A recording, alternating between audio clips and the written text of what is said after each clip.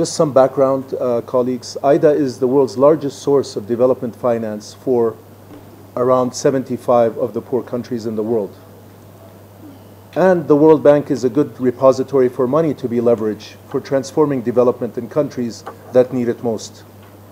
More than 20% of IDA financing consists of grants, with the rest in extremely low interest credits that can be repaid over uh, long periods. So this highly concessional financing model is supported by financial leveraging capacity that transforms one donor dollar into nearly four dollars for development impact. And that's a very important background on IDA.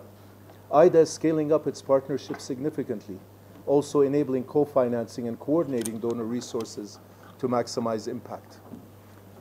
IDA is a transparent, accountable, and cost-effective platform that delivers results, making it a prime investment for global development finance. So you can uh, get a sense of how important this uh, meeting is going to be.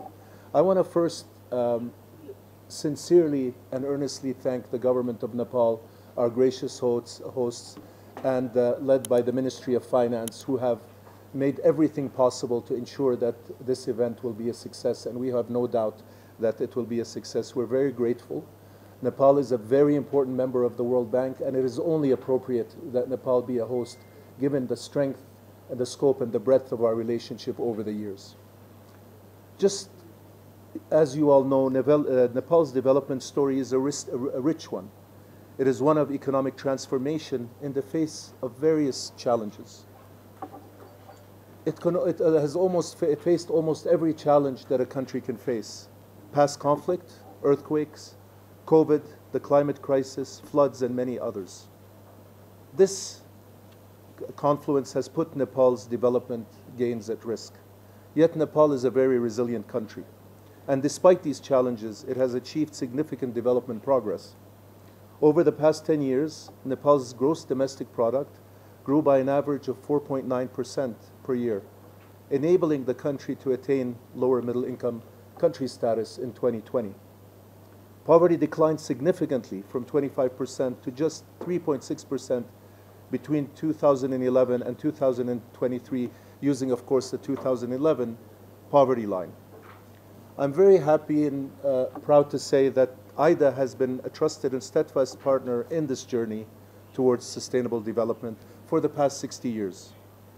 IDA's grants and low interest loans have helped Nepal invest in their future, improve lives, create safer and more prosperous communities, among others. An interesting story that the World Bank Group fielded the first economic mission to Nepal in 1963 to assess the country's development prospects and challenges and approved its first credit in 1969 for a, develop, uh, for a, a, telecommunications project that continues to be uh, here and very transformative today. Since then, IDA has uh, provided Nepal with 6 billion in credits and grants, US dollars. Currently, the World Bank is supporting 24 projects worth 2.3 billion US dollars. IDA is also helping transform the lives under the leadership of the government of millions of Nepalis through investments in education, health, jobs and skills, connectivity and infrastructure, social protection, food security, and others. Um, I would just uh, say a few more words and to say that IDA's support is crucial to help the people uh, of Nepal build an inclusive and resilient future on a livable planet. As you know, the, a few years ago, not so long ago, the government, IDA, other development partners, the private sector, and the Nepali people came together charting a new development pathway, which is the green, resilient, and inclusive development uh, pathway, a homegrown Nepali approach centered on sustainability and green growth and embedded in the famous Kathmandu Declaration that we all had the honor of signing. IDA is critical for Nepal's grid development which is an ambitious agenda focusing on 10 transitions and growth over 10 years with 10, uh, 10 uh, uh, billion dollars of government and development partner financing.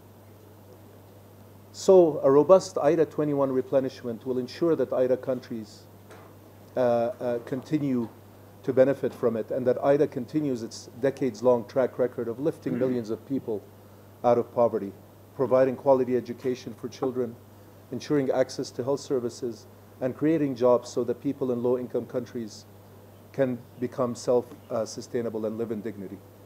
Uh, with that, I just want to say a few concluding remarks in terms of the details, and then we'll turn to the respected secretary um, in terms of the format, and I'm sure the members of the press will have questions. Um, this event will start, as my colleague said, it will take place between June 18th and 21st. And June 18th will be a session, uh, session uh, kicks off four days of closed door meetings to discuss IDA 20, uh, 21's proposed focus areas, assessing the finance needs of countries supported by IDA, and considering financing scenarios. The goal here is how to use IDA to its most effective to help end poverty on a livable planet. There will be an opening session on the June 18th, which will be broadcast so you can all watch online. Thank you very much. आइडाको यो एक्काइसौँ replenishment meeting अ, हाम्रो यो असारको चारदेखि सात गतिसम्म काठमाडौँमा सम्पन्न हुन गइरहेको छ त्यो मिटिङमा आइडाको डोनरहरू जोबाट वर्ल्ड ब्याङ्कले समेत चाहिँ त्यो पैसाहरू अ, कलेक्ट गर्छ आइडा डोनरको मिटिङ डोनरका प्रतिनिधिहरू र रेसिपिएन्टका प्रतिनिधिहरू हाम्रो जस्तै देशहरू जो रेसिपिएन्ट हो आइडाको।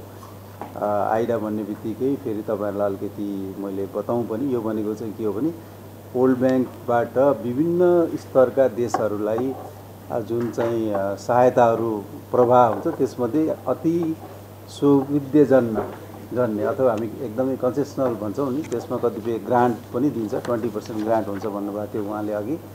ग्रान्ट सहितको अति सुविधिजन्य अ, सुविधामा प्रवाह हुने जुन क्रेडिटहरू छ अथवा जुन सहायता छ त्यो चाहिँ आइडा थ्रु चाहिँ प्रवाह हुन्छ त्यसको लागि रकम सङ्कलन गर्ने मिटिङ हो यो खास गरेर है। त्यसको एक्काइसौँ चरणको मिटिङ हो।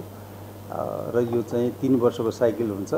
यो एक्काइसौँ चरणको मिटिङमा कति पैसा कलेक्सन हुन्छ त्यही अनुसार सन् दुई हजार बाइसदेखि पच्चिससम्मको लागि आइडाबाट विभिन्न आइडाको रिसिपिएन्ट कन्ट्रीहरू छ पचहत्तरवटा त्यो देशमा जाने फन्डहरूले कति पैसा पाउँछ भन्ने त्यो कुराको निर्धारण पनि हुन्छ।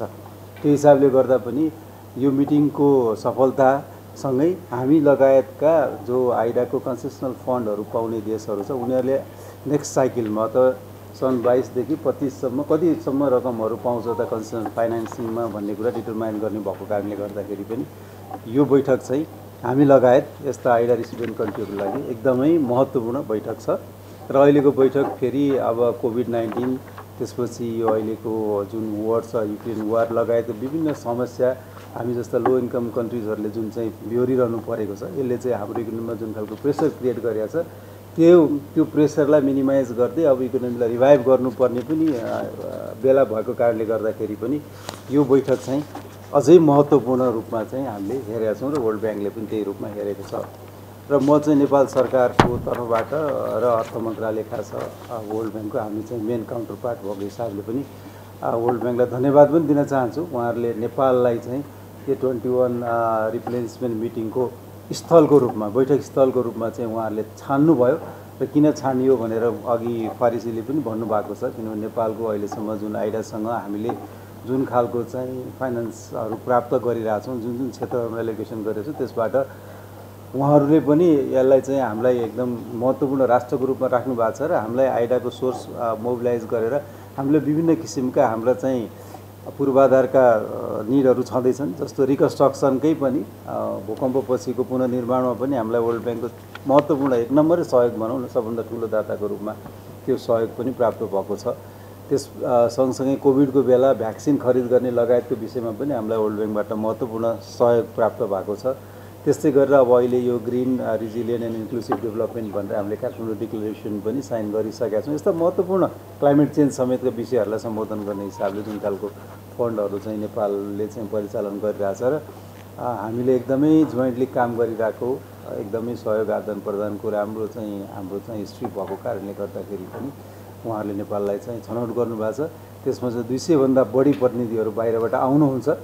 नेपालको लागि यो आफैमा होइन विभिन्न लगभग सत्तरीभन्दा बढी मुलुकका दुई सयभन्दा बढी प्रतिनिधि नेपालमा आउनु भनेको नै पनि हाम्रो लागि आइडाकै तर्फबाट मिटिङ हुनु नै एउटा एउटा राम्रो अवसर हो भने त्यसबाहेक हाम्रा अरू कन्ट्रीलाई चिनाउने हाम्रो पर्यटन प्रवर्धन गर्ने लगायतका अरू विषयहरूमा पनि यसले चाहिँ हामीलाई पक्कै पनि यसले फाइदा नै दिन्छ। त्यसले गर्दाखेरि नेपाल सरकार चाहिँ यो बैठकलाई सफल गराउनलाई एकदमै प्रतिबद्ध छ।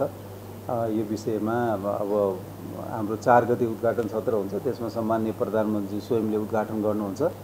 उहाँहरू केही फिल्ड भिजिटमा पनि जानुहुन्छ जस्तो वर्ल्ड ब्याङ्कले सहयोग गरेका केही परियोजनाहरू हेर्नको लागि उहाँहरू फिल्ड भिजिट पनि हामीले उहाँहरूलाई लैजान्छौँ।